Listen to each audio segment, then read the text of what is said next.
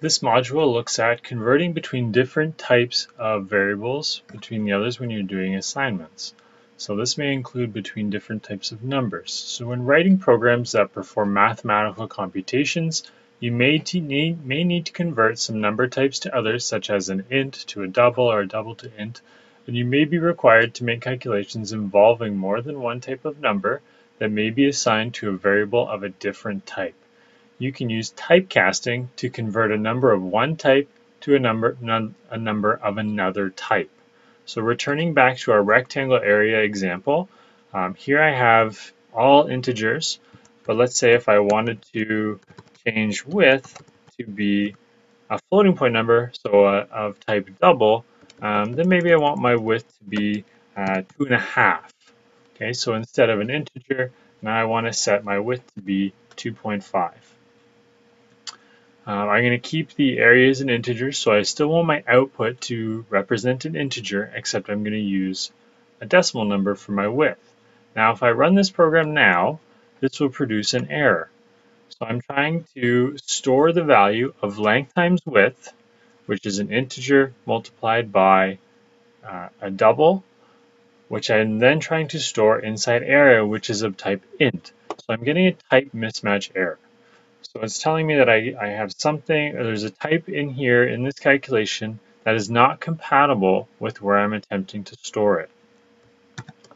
And this is where typecasting comes in. So this will allow me to keep the width as a double type, but allows me to cast or change or convert that double to an int.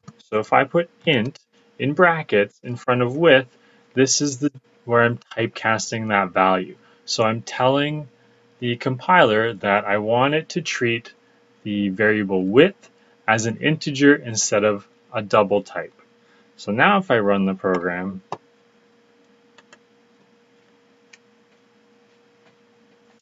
it allows the calculation to be completed and it gives me the area of the rectangle. Now notice it gives me an area of the rectangle of 20. There's a reason for this. So the, the code here shows a multiplication expression involving an integer and a double. Now the typecast is used to cast the double as an int. Um, otherwise it, it shows us an error as I showed you before. But now when you cast a double to an integer, the value is actually rounded down to the nearest integer. So this code would convert the number 2.5 to 2 which is actually incorrect when we consider the rules for rounding. So this is known as truncation. So by setting uh, uh, the double to an int, it truncates the number, which effectively uh, means remove anything after the decimal. So instead of 2.5, it becomes 2. So my calculation becomes the value of 10 multiplied by a value of 2. That's why I'm getting an area of 20. Whereas we know if we wanted to do 10 times 2.5, that should give us an area of 25. Now, if we still want to stick with the value of 2.5, but cast it as an integer, we want to use the proper rules for rounding. So in order to cast as an integer and to round properly, 2.5 as an integer when it's rounded is actually 3. So what we can do to make sure that it rounds properly is we add 0.5 to the type, the double type in, uh, variable so that it rounds to 3. So this would actually give me the proper area when the cast is done properly with rounding. So the area of this rectangle would actually be 30 because rounding 2.5 to the nearest integer should be 3. It shouldn't be rounding down because of the 0.5. Casting becomes very useful when you are doing decimal division of integer values.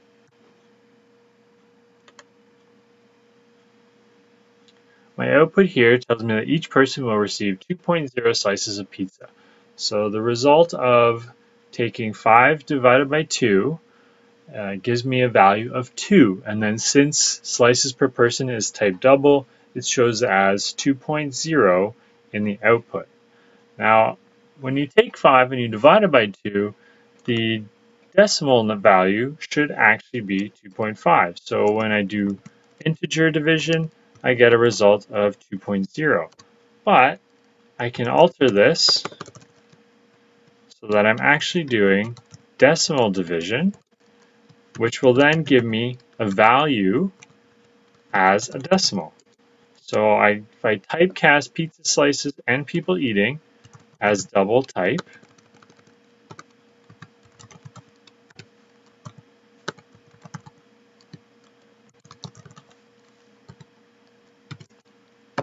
So this is known as decimal division. This will give me a different result. So I'm going to comment my previous line. Okay, so now I'm just running this expression. So typecasting pizza slices and people eating as double type, and then storing the value into slices per person, which is a double, double already.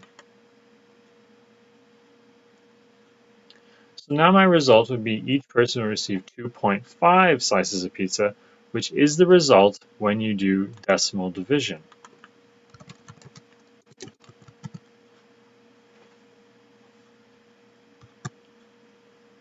Typecasting makes a programmer's intentions clear and may even make bugs easier to find. Returning to the rectangle area program, um, since I'm multiplying a double by an integer in the area calculation, it may make more sense to switch my area to be of type double. Now in this case now I don't have to typecast the variable width. The int data type has less precision than a double data type. So if I take the int type length multiplied by width, this is still going to run in the Java program since length has less precision. You cannot put more precision into less precision, but I can put less precision into more precision. So I can use int, uh, an int type multiplied by a double, and store it into uh, another type or another variable that's also of type double. So if I run this program, this gives me the area of the rectangle as 25.0 as expected when you multiply 22.5 times 10. This is what is known as implicit casting. So length here was actually uh, cast as double since I was storing it into a double type variable. So it's not necessary if you're going from, uh, uh, if you're storing an int multiplied by a double into another double, or going from less precision, storing it into larger precision, it's not necessary to cast, but it is good programming practice to cast anyways. This will still give me the same result. This can also help make it much easier to find any bugs in your program.